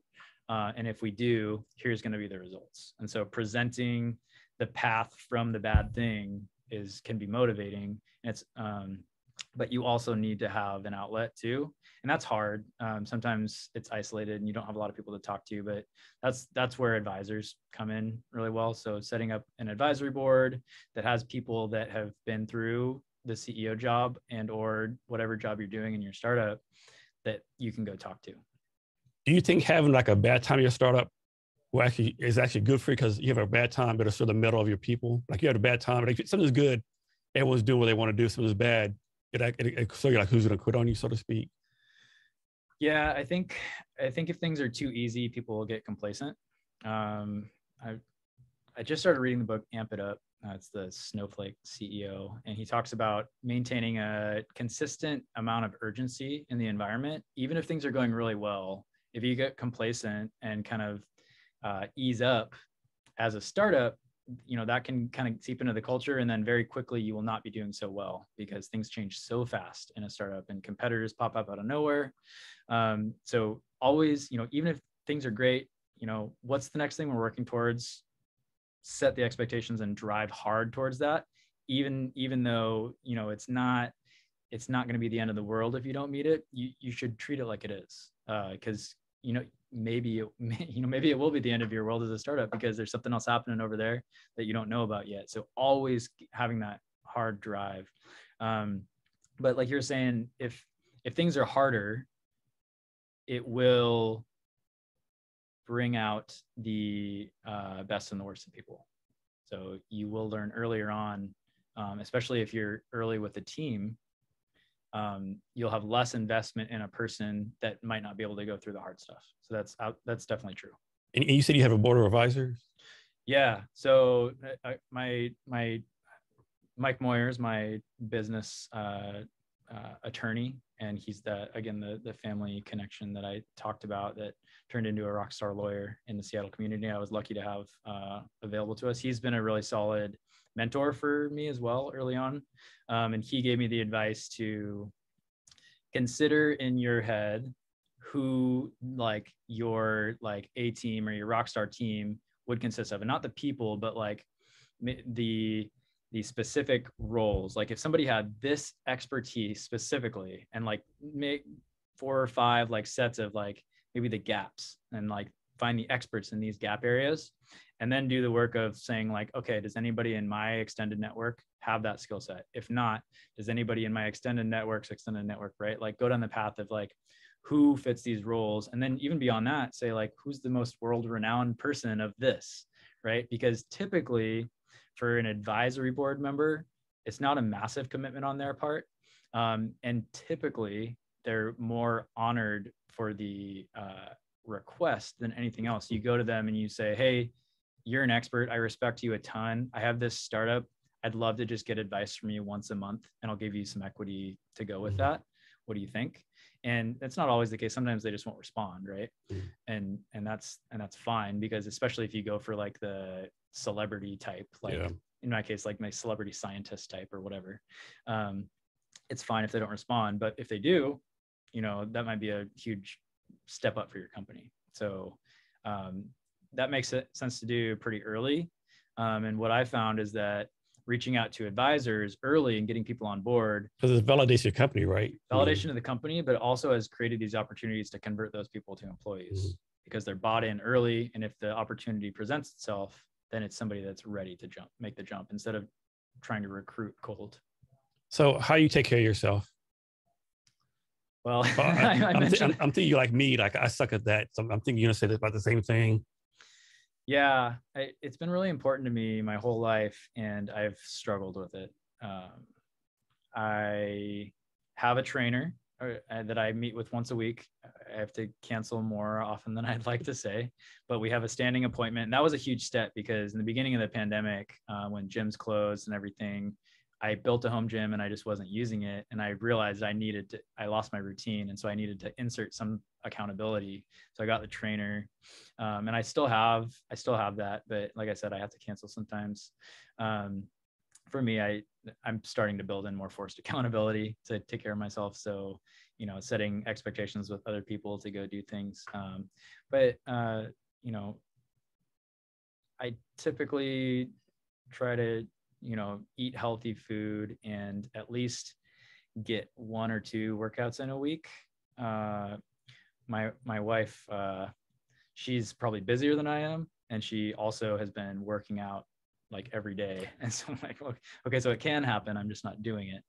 Um, so yeah it's it's just tough to take it's tough to carve the time out. Yeah I, I, think it's a mind trick too because you know mine like i know my work only be like 30 minutes an hour but that's 30 minutes an hour you know well, not only is like 30 minutes an hour, but you probably have to travel to the gym, get dressed. That's like two hours out of your day. Yeah.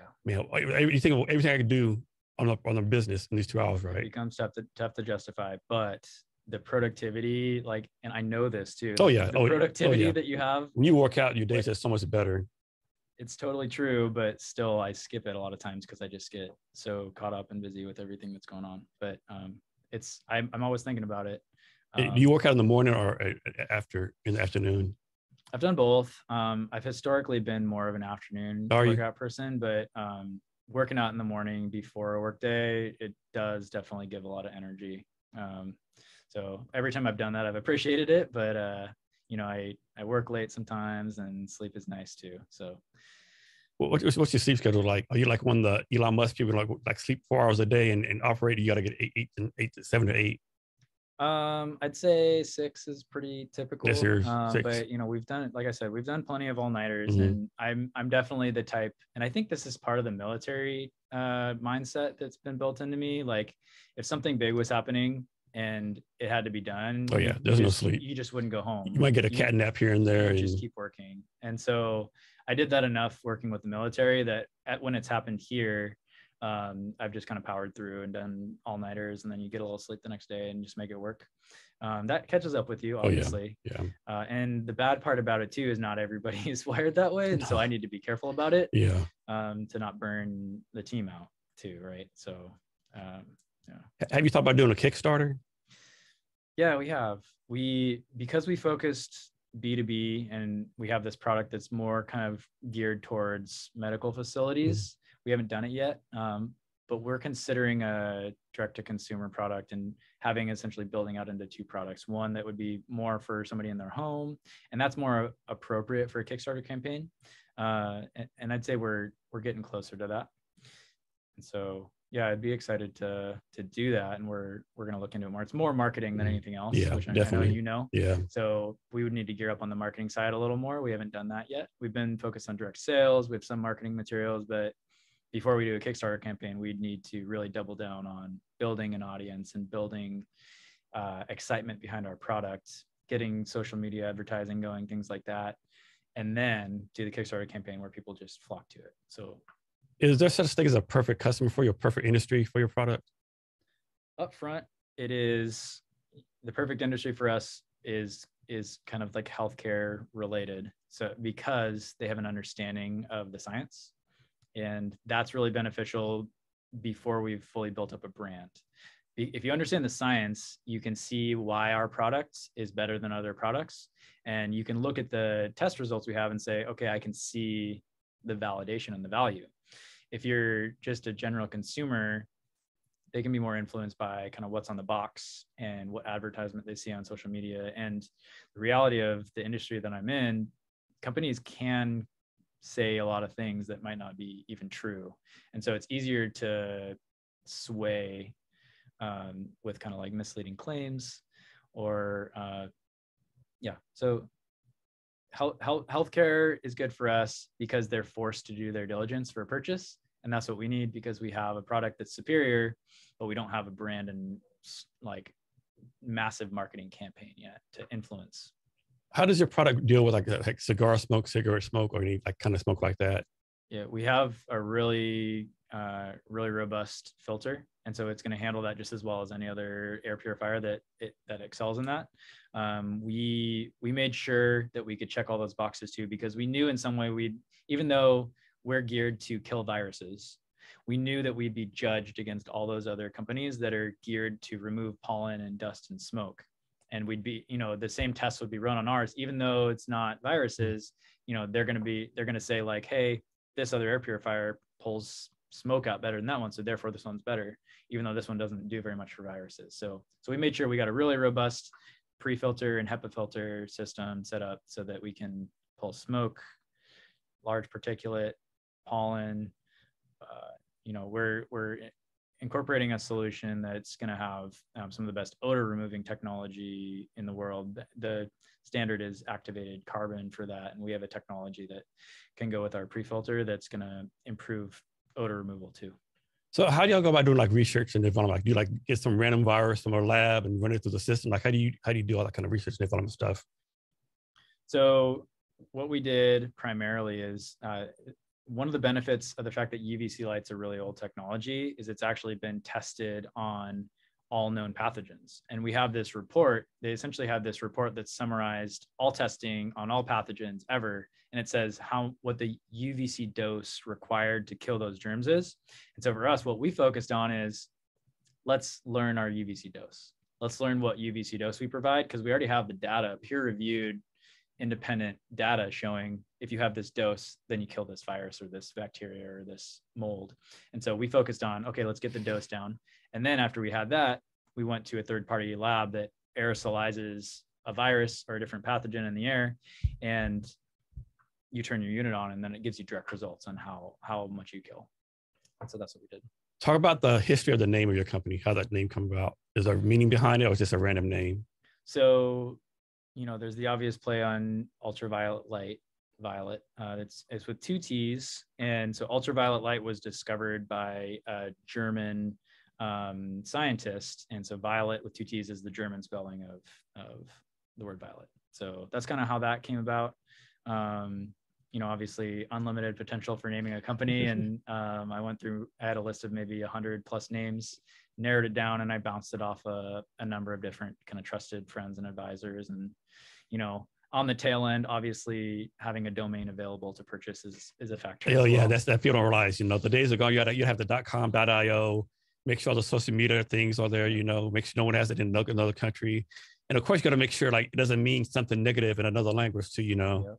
Yep. That and and we were also considering, you know, one of my one of my good friends and an advisor for the company is a UX guy, and considering what that name translates to and kind of the marketing value of it too, and like what you can do with it. You know, Violett uh, to to us, there was a lot of possibility mm-hmm. with that versus something more sterile and like medical. And yeah, you definitely want like a medical bland name because yeah uh, if you look at it a lot of like air purifiers and air disinfection it's boring it's a lot of boring bland sterile type of names and so we wanted something that you know could have some some uh, excitement some pizzazz yeah yeah exactly so that's how we did that and, and like i said the domain we I was able to no- negotiate our domain as well which that took a long time too but it's important some of these people domain names they want some crazy amount of money right like are you they kidding do. me like they do like that, that, that's my name. Like, how do you know my name, right? yeah, and it's because they know they can charge it, and it's it is what it is. But yeah, um, I luckily we we were able to negotiate it down to a reasonable price, and I did that fairly early on. So that was like you know my money going towards it as opposed to uh, revenue or business money. Or so, what do you do for fun? I really so I, I, have two kids. I spend most of my time hanging out with them, um, but I we try to do outdoor activities. I mentioned I live in Gig Harbor. We'll we'll go paddle boarding, and I'll take my daughter out uh, on a paddleboard out there. Um, I really like to have some sort of challenge. Um, maybe again, that's kind of the military, like competitive. I was mm. very sports oriented growing up, um, but like uh, you know, summiting Mount Rainier or like doing Spartan races or those types of things. I I love. Like pretty much like an outdoor person, then outdoor yeah, nature. I, that's what I enjoy doing. I don't do it enough. Kind of I don't spend enough time on it, but that's what I enjoy doing. So how do you like like you have all these things going on? Like example tomorrow, I'll make this up. Suppose you have 20 things to do tomorrow on your priority list. How do you make sure you do things one to two versus start off with number 18? Well, setting the top priorities for the company and then aligning activities with with that. Sometimes there's meetings that don't align and sometimes I take them um, but other times I move them because they don't align with the current priorities for the company. Um, that's that's the majority of it is just knowing knowing the two to three big rocks that you have to focus on and then focusing activities there and it's kind of easy for me right now because it's like fundraising if it's not fundraising uh, I, i'll spend time on it but not much and then the other piece of it is i, I do a lot of the engineering development like higher level i'm not mm-hmm. doing the as much as the hands-on like CAD engineering things like that, but um, just the the bigger, longer range development of the product that takes a lot of my time too. So those are kind of the two things that take up majority of my time right now.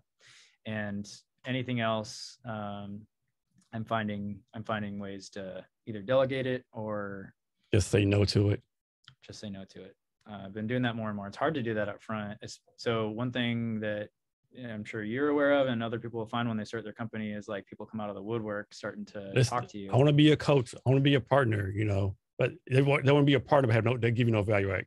Yes, put this on the website and make money together. Like, no, yeah. you know, like, yeah, it's, uh, and you know, everybody, and, and, I, I try to be good about it too, because I know at some point I'll be cold reaching out. Mm. And so I, I do try to respond as much as I can. Um, but typically there's 10 people asking for to provide services for the same thing and it's mm-hmm. typically for something you already have but that's going to be something that you never experienced before you formed a company and so now i'll have 20 25 people reaching out to provide services and help yeah and and the cool thing is sometimes it's actually very valuable yeah definitely and so i've i've found some really strong relationships from those reach outs uh, that that if i hadn't responded i never would have but there's a there's a limit to it right and if yeah. if if I'm focused on something extremely important, I I will give it the most minimal amount of time possible and focus on the things that are important. Yeah, this happened, happened me a couple of times. People reach out to me on LinkedIn. Of course, I'd look who they have. Oh crap, you know them. I'm trying to get in touch with them.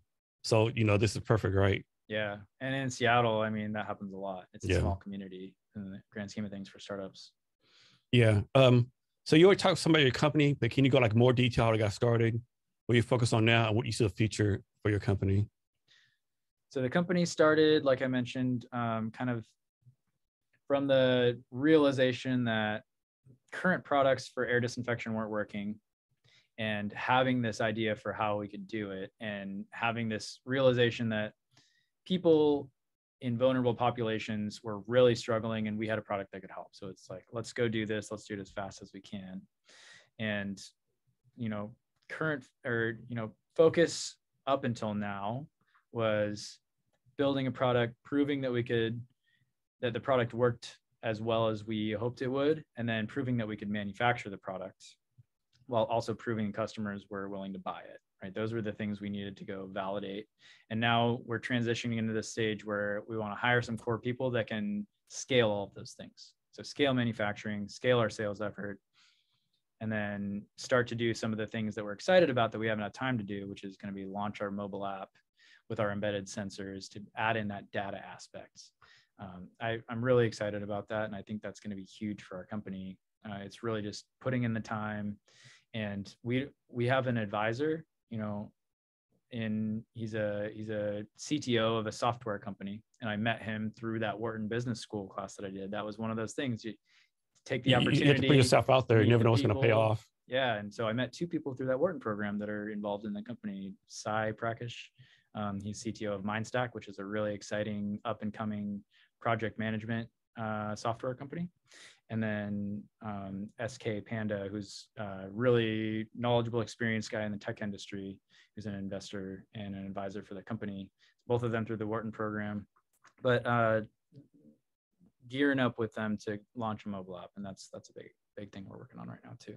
So next question, I, will make this total up. Like, suppose you have on your on your on your list of things you have hundred things to do, right? Every day you might get knock out one to six. Like number 70 to 100 is always on there. Like, it's important to you but you never get to it. Like what comes to the point where you're like, okay, I haven't done 70 to 100 in like six months. Obviously, not a problem to take it off. You delegate it, like it's stuff like you know you need to do. Like whenever you see it, when you come across that, man, I haven't done that yet. It annoys me. Like, how do you handle that? It annoys me. just leave it at that. Just annoys you. No, no. Uh, so sometimes I delegate it, and I've been doing better about that because you know it's it's tough to especially when they're they are tasks that are are your tasks uh, and it's not like explicitly with you know this engineering member this ops member like it's yours but you just don't have time to do it. Uh, i've found more and more the ability to provide a little bit of background and turn it over because i know it will happen quicker that way. Um, and then i've only started thinking about this but uh, kind of getting a an assistant type to handle those types mm-hmm. of things because typically those things obviously if you're not doing them they're not critical and they just take time and typically it's something that you can train and so i'm looking into that now uh, to be able to work through those less important but still important mm-hmm. items that take a lot longer to get to and for me the thing that forces me to do them is like i i create systems that will like flash in my face you haven't done this yet and it'll annoy me enough that i'll just okay i'm gonna you know take 15 minutes less time and you know eating food or whatever and i'm just gonna knock it out so you're early morning rise or more of a night owl more of a night owl naturally night owl. but i have i have young kids so i get oh yeah too. so it's 24 7 operations in the doyle yeah. house right yeah exactly so talk about the importance of having your your your, your close friends spouse and family like supporting you it's one of the hardest things. Um, I've I've set up a system where like I have this dedicated time with, that I focus on family. Like no matter what's going on, here's the hours that I'm going to be at home with the kids and the wife. And I've been lucky enough to not have to travel very much uh, yet for the company. You know, you can do so much virtually. We've been able to do Zoom meetings, things like that. But I've learned a lot about the best way to do it. I haven't done it the best way the whole time. You know, it's with so much in the air and juggling so many things, you know, communication is definitely at the forefront and it's something that I constantly try to be better at. But um, yeah, prioritize it. How old are your kids? Five and two. And so your wife was your, was your wife like? So you're telling me you want to do a startup now with the young kids? Like, what are you doing to me? Yeah, she's really entrepreneurial. She uh she runs a number of different nonprofits Mhm. and associations, uh, and she's extremely talented. But yes, essentially, Like now, now you want to do this now? yeah, yeah, um, and I, it, I I'm pretty stubborn too. So you know, I I knew the opportunity and I knew it needed to happen, and so uh, again, I have a lot of room to grow. I could have been better through that whole that whole thing, um, but there, there's there's not much more you can say. That part of it's really hard, and if you don't have somebody that you're with that's uh, on board and understanding, it's it's gonna be really hard. Talk about this. Um, I think from my experience, most people start a company, and I'm generalizing. I must I have this great idea, and I'll be rich in six months, or everything's gonna be easy, right? I mean, talk about you know the patience, the the time restraints, the time, all that kind of stuff you have to take effect because they, say this thing takes six, seven years. Like I said all the time, like Steve Jobs didn't come to Apple like eight years, right?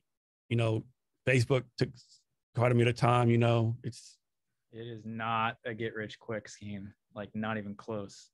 Um, you know, the eh, the things that get publicized are, you know, they show Facebook's rise and Yeah. these, these like some random company raises ten million dollars over quote unquote overnight. You know, yeah, it's never the case. And you just need to understand that it is a long game. And if you're not willing to put in the work without the reward for a very long time, it's definitely not worth it. And the reward is definitely not guaranteed, right? That you look at the numbers of what percentage of startups you might as well play the you might as well play the lottery or play blackjack at the casino every day. You probably have better returns. yeah and and also if you, if you look at you know the the people that leave high paying jobs to do startups even if the startup successfully you know is acquired or things like that often you know with you're weighing the risk of it it's it's usually a better bet to stay with the high paying Yeah. company but what you get from entrepreneurship is different Oh yeah, no you doubt. have autonomy you you can be creative Make a difference. make a difference You impact other people's and lives. so if that's what's important to you, you should do it. If it's about the payday, you shouldn't do it. yeah, like like with you, you have like these interns.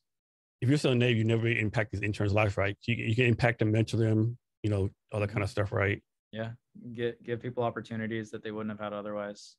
Uh, there's a lot of ways that a startup is great, but it's it's it shouldn't be for the for the big payday. If it comes, that's awesome, but you shouldn't expect it. So, as an entrepreneur, you, you hear no all the time. How do you how you do personally deal with like asking ten things and hearing no like all ten times? So what I've tried to do is if I have no control over it, like if, if worrying about it, doing anything about it isn't going to change the outcome, I don't I don't dwell on it at all.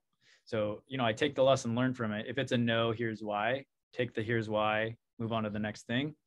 Uh, if if it's a no, but you get a sense that it's a maybe, you know pencil that down circle back in six months but you're right it's you know a hundred no's to every yes And how do you deal with this? Like, suppose you, you suppose your pitch your company or certain your company, and they basically say, "Hey, this is a waste of time. Your baby is ugly. There's no way you can make any money." Like, how do you deal with that? people say, "Don't take it personal." You know, what's that about? Like, it, it's your company, right? How do you not take it personal? so you before you start that whole process you have to truly believe that what you're offering is valuable Mhm. and and it's more valuable than other competitive companies and if you truly believe that then you can move on pretty easily from that because you just didn't properly explain to them or their mindset is pretty fixed in this way mm-hmm. for a certain reason and they don't see your side. And you, you just use it as an opportunity to figure out a way to crack in mm-hmm. and and help enlighten them to to why it's true right?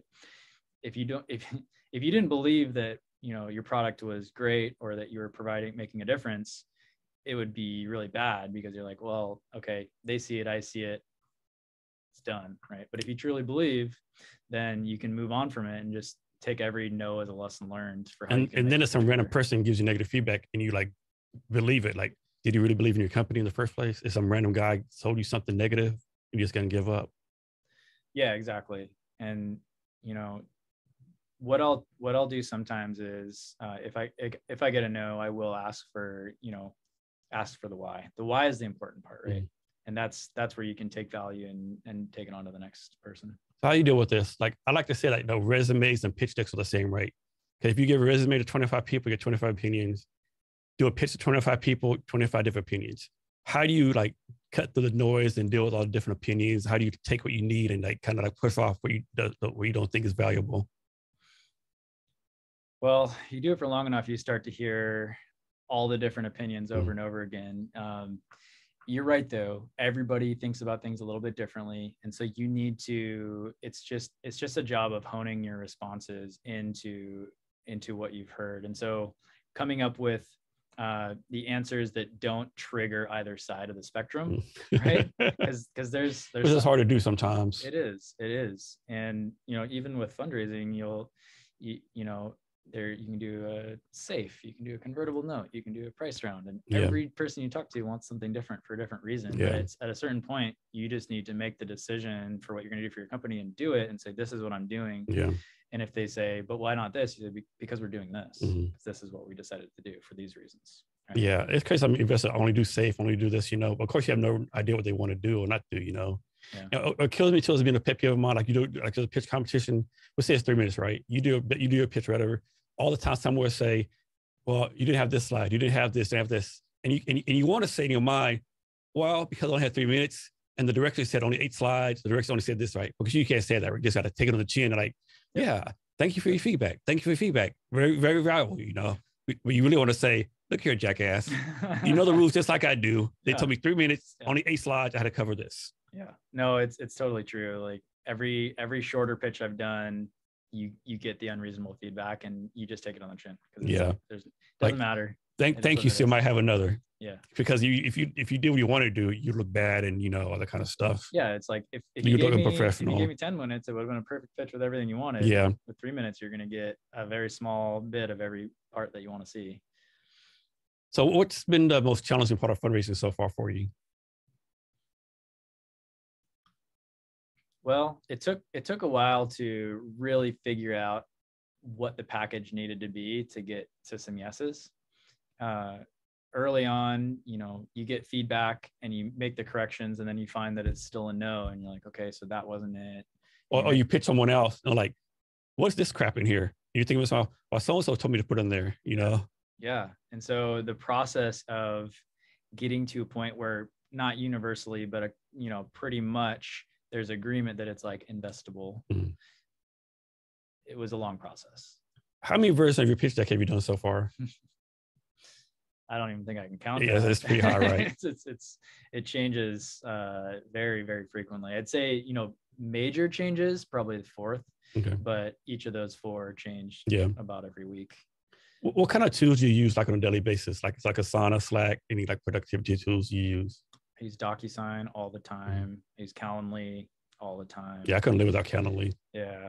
Uh, let's see. We use QuickBooks. I'm in there a lot.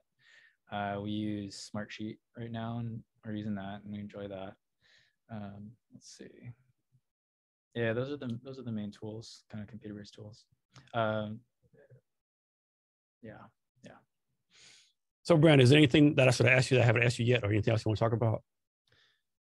Well, um, I think we've talked about majority of the things I wanted to. I'd say if you anybody that wants to learn more, uh, we have a essentially a get in touch with us on our website where we sold business to business majority of this time. We're just now starting to op- now that we're able to manufacture more, we're able to open this up to more uh, people, more places, more things. So you know, it's a cool opportunity if somebody ha- sees a situation or has a need to create a healthy, safe environment for themselves or their family or other people, they can reach out and we can have a discussion about if it's the right fit.